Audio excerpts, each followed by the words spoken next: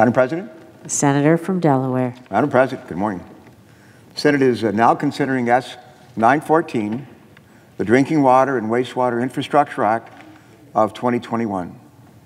This legislation was reported unanimously last month by the Committee on the Environment and Public Works on a vote of 20 to 0. I rise today to join Senator Capito and uh, to urge our colleagues to join us in voting for the adoption of this legislation. The Legislation will help upgrade our nation's drinking water and water infrastructure, wastewater infrastructure, investments that are sorely needed.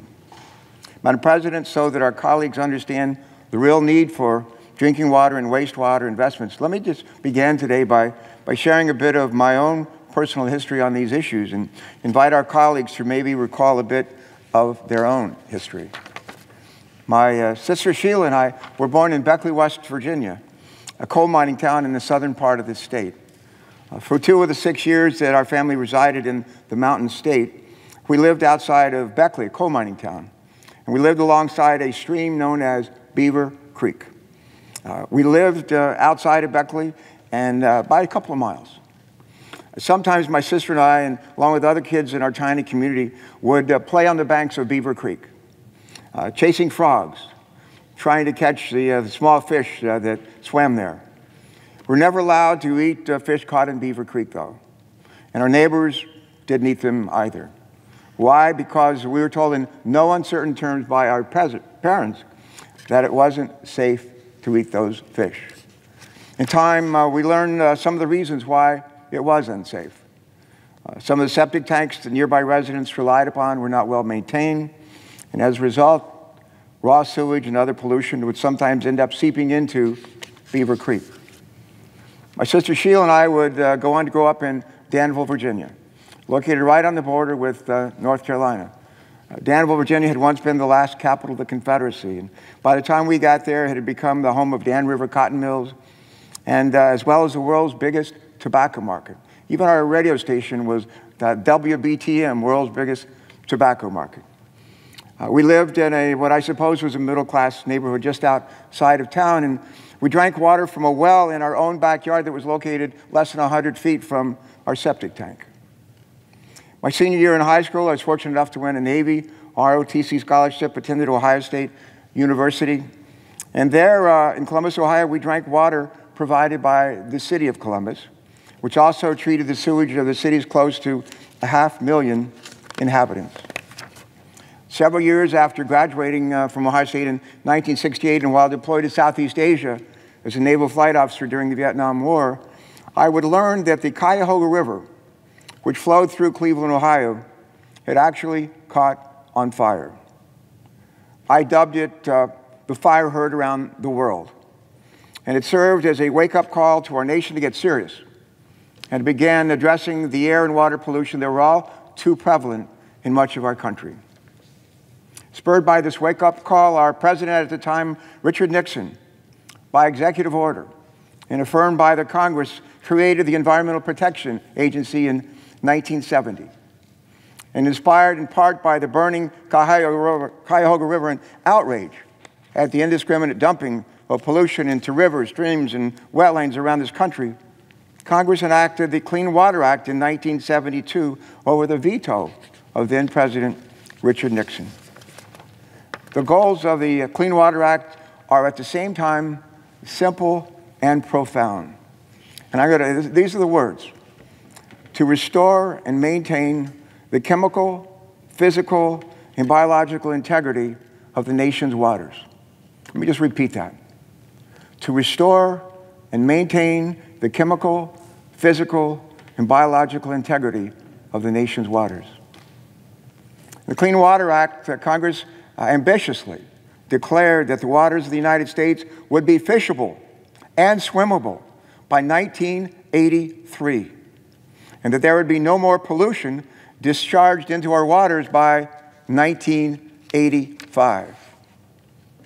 Two years later, in 1974, then President Gerald Ford signed the Safe Drinking Water Act into law.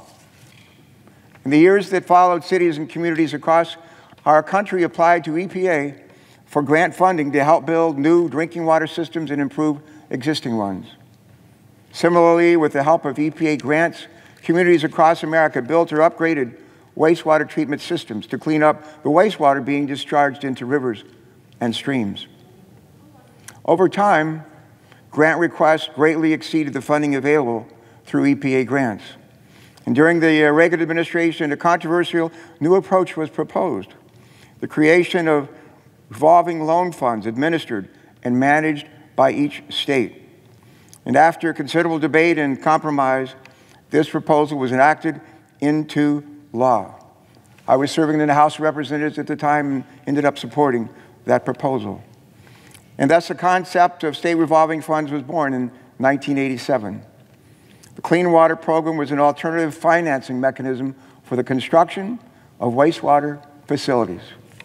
Congress extended the same revolving loan fund concept to federal drinking water programs in 1996. Federal funds seeded revolving funds in all 50 states and in Puerto Rico and provided support for projects in the other territories and in the District of Columbia right here. This federal support leveraged state and local funding along with revenues generated by utilities. In the years immediately following the creation of these funds, Congress periodically modified them to meet the changing needs in cities and communities across our country and inspired the, news, the use of new technologies. In more recent years, however, the, the programs languished and the authorizations for the state revolving funds were in dire need of updating. In uh, 2018, for the first time in 22 years, 22 years, Congress reauthorized the Drinking Water State Revolving Fund. Did so for three years. The Clean Water State Revolving Loan Fund, used for wastewater and other vital needs, has not been reauthorized in nearly, get this, 35 years. And now the Drinking Water State Revolving Fund is set to expire at the end of this year. At the end of this year. Somebody should do something. And that somebody is us. Needless to say, we've fallen woefully short of Congress's lofty ambitions to create fishable and swimmable waters by 1983 and to eliminate the discharge of pollution into navigable waters by 1985. It's also clear that the system we have now, despite our best efforts, isn't enough to meet the needs of our communities, particularly those who cannot afford to participate in loan programs, to upgrade increasingly inadequate drinking water and wastewater facilities. For far too many families in this nation, access to safe, clean drinking water and a healthy environment is, to be frank with you, just a, dr a dream. Just a dream. And a lot of folks, too many folks, face a real crisis. All too often, we see headlines telling of the poor state of water infrastructure in our country and its lack of resilience in the face of severe weather. Not that long ago in Texas, earlier this year, Nearly 15 million people, 15 million people lost access to clean water when plummeting temperatures broke water mains, brought power down to drinking water facilities across that state. In Jackson, Mississippi, that same harsh weather caused over 80 water main breaks and left tens of thousands of people without water, particularly in predominantly African American neighborhoods. But as we all know, this goes well beyond a few isolated cases. The problem of water in our nation runs much deeper. Millions of Americans still lack consistent access to clean drinking water today. The American Society of Civil Engineers 2021 report this year called for, uh, or reported that America's infrastructure they, gave a, they give out grades A, B, C, D, E, F. They uh, gave uh, our water system a grade of C minus. Uh, I don't know about my colleagues. I never got much of a pat on the back when I bring a home a C minus on my report card. Neither did my sister. And uh, C minus is not uh, satisfactory in my family, and I think for our country. That same report early this year also revealed that there's a water main break every two minutes, every two minutes in the United States and that 6 billion gallons of treated, drinkable water are lost each day to leaks in crumbling water supply systems. 6 billion gallons. And that begs the question how much is 6 billion gallons anyway? Well, it's enough lost water to fill 9,000 swimming pools. Let me repeat that. It's enough water to fill 9,000 swimming pools. Not each year, not each month, not each week, every day. Some communities report losing a quarter or even half of their drinking water to leaking pipes. In my own state of uh, Delaware, where Senator Coons and I come from, communities like Ellendale, Delaware, in the southern part of our state have struggled for years to find and afford safe alternatives to increasingly polluted drinking water wells. And Ellendale is not alone. Thousands in communities of color, in tribal communities, rural communities, and others struggle not only with access to clean water and wastewater treatment, but also with the capacity to afford the infrastructure necessary to provide and meet those services. Let me emphasize clean water is an essential part of our healthy lives, healthy economics, and a healthy environment. But for those communities who simply cannot afford to pay back loans or for needed water infrastructure, we got to find a better way. And I think uh, by working across the aisle and working hard, our committee, the Environment and Public Works Committee, is suggesting that better way in the legislation before us today. I'm pleased to report, uh, Madam President, that these are challenges that we have sought to address head on with this legislation. This bipartisan legislation that we consider today authorizes more than $35 billion for drinking water and wastewater infrastructure programs at the Environment, uh, Environmental Protection Agency over the next five years. These programs will create jobs, make our communities healthier by building, by repairing, by upgrading, and by modernizing our, our nation's aging drinking water and wastewater infrastructure systems. Here's how. First, the measures takes the historic step of reauthorizing the Clean Water State Revolving Loan Fund for the first time in 35 years. 35 years. And it does so by increasing funding levels for the first time since 1987. This legislation also reauthorizes the Drinking Water State Revolving Loan Fund, a program whose authorization expires, as mentioned earlier, at the end of this year. This fund helps to ensure that clean water flows whenever we turn on our faucet, that clean water comes out of it. Next, uh, this bill makes sure that we're helping our fellow Americans most in need, the least of these, most in need, by boosting funding for programs that fund projects in low income areas, in rural communities, in tribal lands, and communities of color that have historically have been left behind by investments in our water infrastructure. According to a recent analysis, water systems with multi-year safe drinking water violations are far, 40%, 40% more likely to be in places with higher proportion of people of color. Drinking water quality violations are by far the most frequent in low-income rural communities where local governments struggle to finance the most basic water infrastructure needs. To help resolve this historic injustice, more than 40% of this bill's investments are targeted to help disadvantaged communities. The bill authorizes, our bill authorizes more than a billion in new funding to reduce lead in drinking water, and particularly for our country's rural areas, tribal populations, and low income neighborhoods.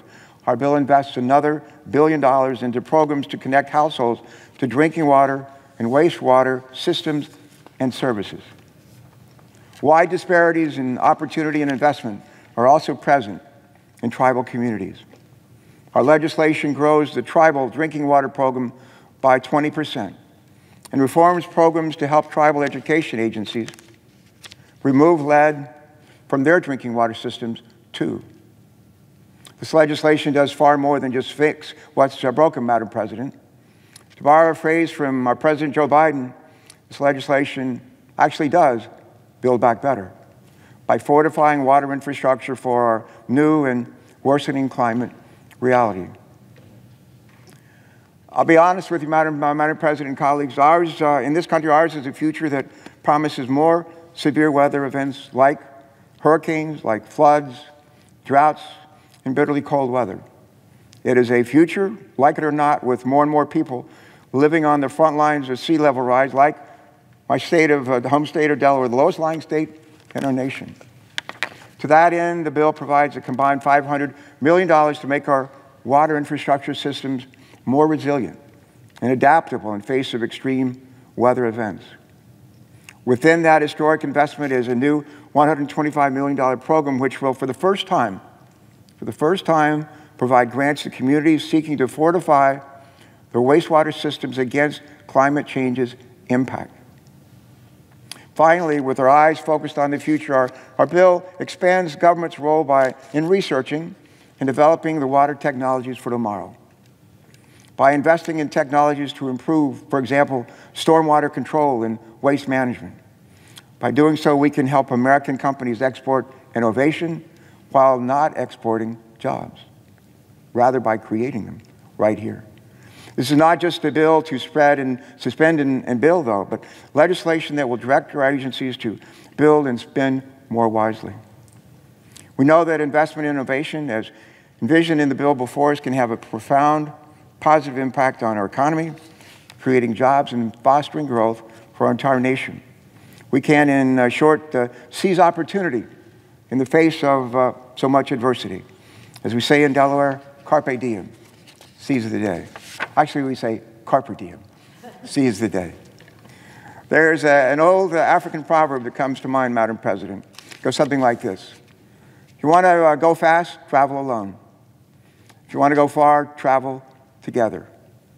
And on uh, this bill, Madam President, uh, I can proudly say that Senator Capito and our colleagues on the Environment and Public Works Committee have chosen to travel together. The Drinking Water and Wastewater Infrastructure Act of 2021 passed out of our Environment and Public Works Committee with a resounding vote of 20 to 0. 20 to 0. And from uh, outside the halls of Congress, this bill has earned praise from across the political spectrum, from big cities to small communities.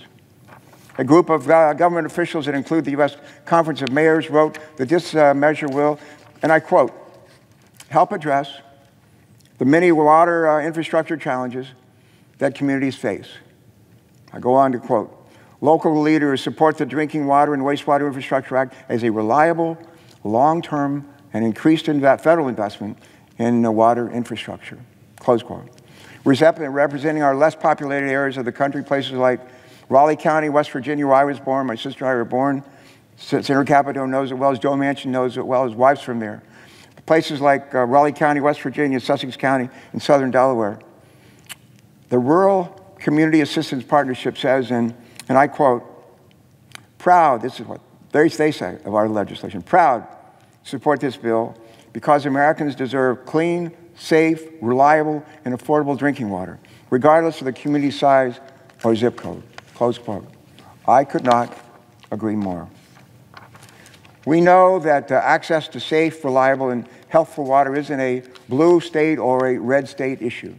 It's an issue that goes to the core of the promise afforded to every American in Thomas Jefferson's um, Declaration of Independence, our country's Declaration of Independence, but largely penned by Thomas Jefferson. These words, the promise of life, liberty, and the pursuit of happiness. If we'll be honest with ourselves, none of us can expect to pursue, much less enjoy, this American ideal if we don't have access to clean water to drink, because without water, we have no life. So the need for action on this issue is clear. To that end, I've been grateful for the partnership for ranking member Senator Capito. I'm proud this measure is the very first piece of infrastructure le legislation I believe to reported out of a Senate committee in this, the 117th Congress. The Environment and Public Works Committee has a long tradition, as some know, of working across the aisle to get significant legislation over the finish line. And this bill is the latest example of the kind of work that we do. I like to say we're workhorses, not show horses. And, but I, this is the first one that uh, Senator Capito and I've been able to work on together, and I'm grateful for all that she and her staff have done to help get us to this day. I oftentimes say that bipartisan solutions are lasting solutions. Think about that bipartisan solutions are lasting solutions. That's how I think we should approach almost all of our work here in the Senate, by reaching out to our colleagues across the aisle where we can, to create lasting solutions to the problems, challenges facing our nation. And this bill before us today is a, a product of that kind of partnership. The legislation is a result of tireless, dedicated work by a ranking member, Senator Capito, by her staff, and by my own. I want to thank them and every member, every member of our committee for all their outstanding bipartisan work, for all their contributions to helping us craft this legislation over the last uh, several months. I especially want to note on my staff, John, John King, who's sitting here right, uh, right behind me, Annie D'Amato, uh, Margaret McIntosh, also known as Mackie, Tyler Hoffman, Reardon, and uh, our fearless staff director, Mary Frances Repko. And uh, another member of our team who used to be part of our e- EPW team who's now leaving our staff uh, is her last day, Ashley Morgan. And uh, we want to thank uh, her for all of her help uh, in uh, the last couple of years. I also want to thank uh, Adam, Adam Tomlinson for his leadership with ranking uh, member Capito and her EPW team, including Jess Kramer and Travis. We, we thank them all very, very much. And finally, a big shout out to our Water Subcommittee Chair, Senator Duckworth, for taking the lead to introduce this excellent measure, along with Senator Cardin and EPW Committee ranking members uh, Lum- Lummis, Senator Lummis uh, of, uh, of Wyoming, and uh, Senator Cramer. And it's been a pleasure to work with each of you and your staffs. I would go so far as to say a labor of love, a labor of love. And with this uh, bill's level of support, it is my hope that we can seize this momentum and pass this measure quickly this week. I urge all my colleagues to join Senator Capito and me in supporting this excellent bill.